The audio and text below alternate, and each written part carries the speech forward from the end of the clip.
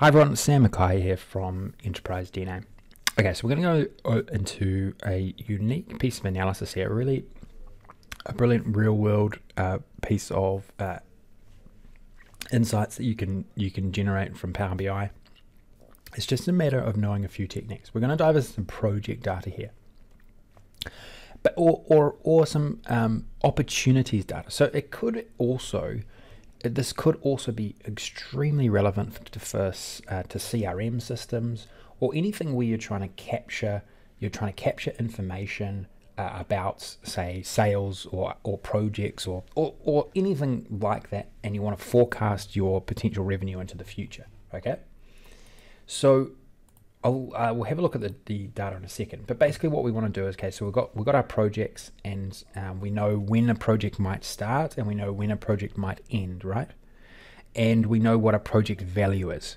Well, I want to be able to look at on sort of like a daily basis, like look out into the future and say, okay, well, if all of these happened, if all if, if, if you know, maybe maybe these are projects that we have um, successfully uh, successfully won. You you could all, you could also say this is similar to um, for like a consulting organization as well, where you say, okay, well, I've we've we've been awarded this project. We think it's going to last for two years. We think we're going to make five hundred thousand dollars out of it. Well, how what is our estimated revenue if we looked at it from a sort of daily perspective, right?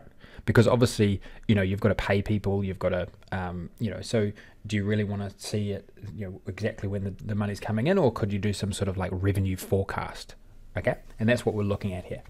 Now, and that's what this this particular cumulative total is set up to do. Now, a lot of you who would look at this would would I believe would get confused because well, I just said this this this particular question actually came directly out of the Enterprise DNA Support Forum. It was a member related.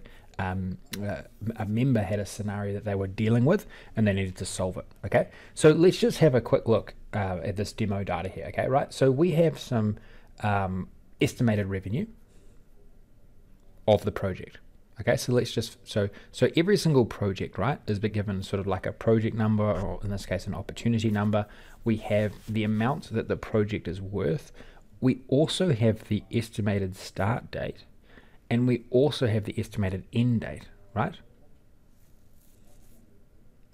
Or we have the estimated project uh, project duration, so say it's 12 months, uh, and then we we then can project out the the end date. Okay, so that's that's how simple your your report your your data set could be. Okay, now what we want to do is we want to sort of flip this and we want to say, okay, well, I want to say uh, like I know that this starts on the 12th of, of August 2019. Well, I want to be able to to allocate this particular revenue revenue across every single day that this project is live. Okay. Now, the key here was we need to actually solve this a bit in the model. Okay, now you, you may you may or may not have seen a few a few videos out there from me around managing multiple dates in your fact table. Well, this is again a perfect example of that, right? Because we want to be able to um, work out when a project starts and when it ends, and then allocate the amounts that are associated to that time frame across every single day within that time frame. Okay. And to be able to do this with a, a, DAX format is we need to create inactive relationships here. Okay, if we have active relationships here on any one of these days, well, it's going to uh, create some filter context in our report, which is going to um, not enable us to get the, the, the right answer, especially with the formula that we're going to use. Okay.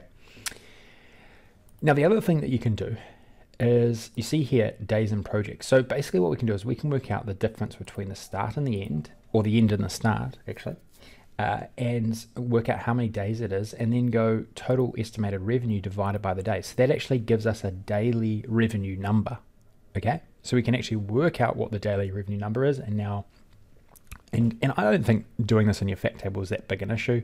You know, usually when you have project sort of data or um, CRM data, it's not huge in a lot of cases, and so you could do this in a DAX formula where you, where where you could go and work out what these this estimated daily revenue was, but in this case, I've just done it with calculated columns.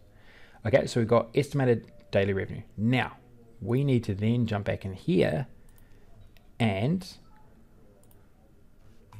utilize this formula technique. This this this is sort of this is also sort of called the events in progress pattern or formula combination. I like to call them, and so uh, basically what we're doing is we're saying go and sum up the daily revenue, okay? But we want to work through, we want to work through every single project, and we want to we want to we want to say, well, is the project start date less than or equal to a current date? Okay. Then, if, if the, those will all evaluate to true, and then for the ones that evaluate to true, we're going to go and evaluate through all of their end dates. We're going to say, well, is the end date greater than or equal to the min date? Now, the max date and the min date actually evaluate to the current date for every single day, right? And so to to to understand if a project is live, well, all we need to do is work out, well, is the start date less than the current date, and is it less? It is it greater than the end, and is the end date greater than the current date? Okay, and if it is, well, then that project is theoretically live, right? And then we need to sum up that estimated daily revenue, and then that daily revenue is going to land in on that particular day, and then it happens the same thing for every single every single date here. And so basically, this is actually giving us the running total of all of these daily revenue amounts, you know, and accumulating it up every for every single day. And you can see here that this then becomes, this can then become our sort of revenue forecast through time, right? Our revenue forecast through time, and we are able to um, identify, you know, our cash flow, our theoretical cash flow. And then we can obviously manage resources more effectively, so on and so forth, um, when we actually um, run this sort of analysis. Okay, so that's basically all I wanted to go over there. Now, um, this is this is just a, a very good real no, another real world example of this handling multiple dates, and this is still I still know that this confuses every this confuses everyone.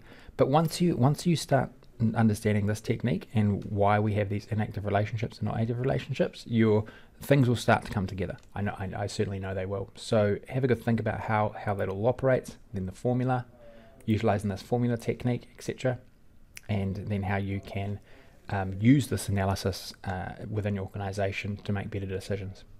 Okay, so definitely throw the video a like if you found this helpful. Um, appreciate it as always, and don't forget to subscribe to Enterprise DNA TV. Lots of lots of great content coming out to you. All the best.